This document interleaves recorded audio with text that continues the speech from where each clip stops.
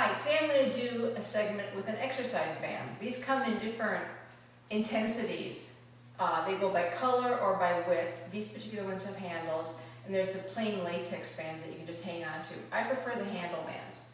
So stand on them, put your feet together. I affectionately call these nutcrackers, as in the Christmas, you know, nutcracker, because they're stiff and they're made of wood.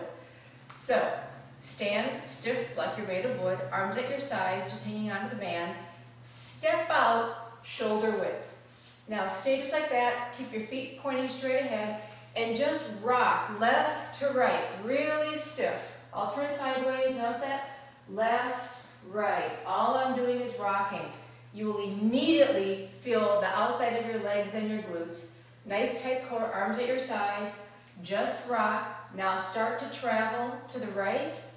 Rock, baby step, travel, travel tiny step and stop. When you get here, bicep curl and sit back and squat. My Arms stay at my sides, up, down, up. I'll turn back sideways, now we're gonna travel the other way.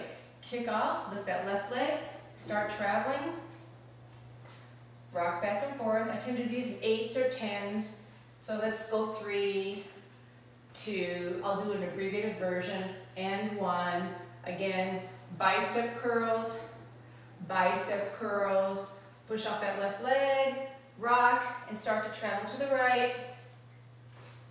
Get there, woo, bicep curl, and up. So, and when you let go, you'll really feel those thighs. Nice effective workout. Bye.